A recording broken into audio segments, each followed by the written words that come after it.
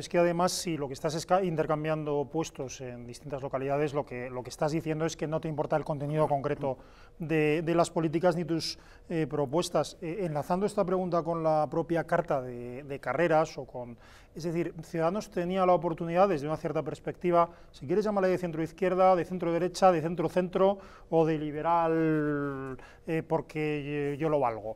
lo que quieras, pero tenía la oportunidad, si lo que quería era visibilizarse, perdón por el palabra, tenía la oportunidad de hacerlo de una forma digna. Por ejemplo, en, en el gobierno con Sánchez, volviendo a la carta de carreras, tenía la ocasión, por ejemplo, de decirle, yo pacto con el Partido Socialista y establecer una serie de líneas, bueno, líneas, a mí no me gusta decir líneas rojas, pero de condiciones muy... Tú y con Esquerra, Sí, sí, sí.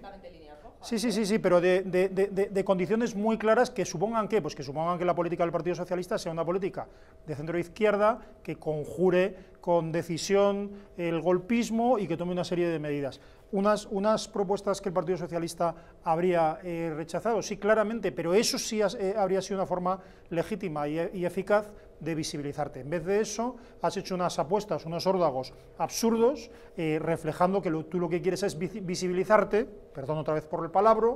con las figuras clave de Begoña Villacís en la, en la alcaldía o de determinados eh, alcaldes eh, mediante la fórmula 2 más 2. Bueno, pues eso lo que quiere, lo que, lo, que, lo que significa al final o lo que muestra a los ciudadanos es que lo que quieres es que la cara de tus candidatos se vea y se ponga eh, delante de las obras y de las políticas municipales y que te, te importa un pito las políticas nacionales o, o- y esto lo podía haber hecho Ciudadanos porque digamos que yo creo que era su última oportunidad de, de, visibilizarse. Cuántas veces he dicho esta horrible palabra lo siento es una La mala noche. visibilizando.